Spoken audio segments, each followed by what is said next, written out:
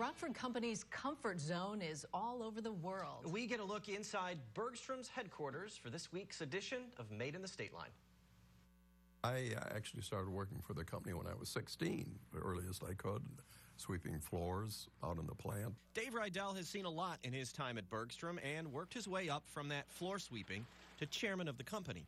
Dave's dad joined Bergstrom about a year after it was founded to run it. Up till around uh, early 1970s, we produced just heaters for our marketplace for vehicles.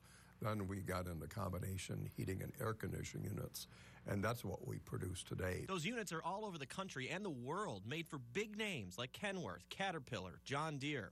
Ever been on a school bus? Chances are you've been kept warm by something designed and made right here in Rockford with local workers. In fact, uh, most of the school buses in the United States today uh, utilize Bergstrom heating systems. So all the children that get on school buses in the morning in cold weather are kept nice and warm by our products. Roughly 400 people work at Bergstrom's worldwide headquarters in Rockford. The 192,000 square foot building is actually three plants in one with three different product lines.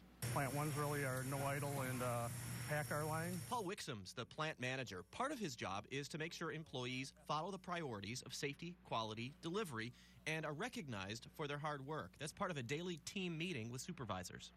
To me, it's more important that the people out on the lines hear that they're doing a good job than them coming here telling the people in this room. Assembly lines are designed with what's called a human machine interface, or HMI.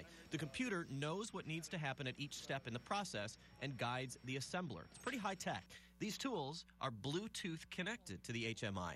When it hits the 40 inch pounds, it'll tell the computer or the HMI that they're done with their operation. A walk through Bergstrom's plant shows just how interconnected Rockford's manufacturing community is. Remember this name from a previous Made in the Stateline episode? Rockford Toolcraft actually stamps parts for some Bergstrom products. While Bergstrom's home is Rockford, the company's expanded worldwide with locations in Spain, England, China. The strategy is to make it to other markets before Bergstrom customers do. Uh, we had one uh, major customer that when I showed them what our what our plans were and what our actual locations were all over the country, he goes all over the world. He says, "That's exactly where we're going." Bergstrom celebrates its 68th anniversary this year.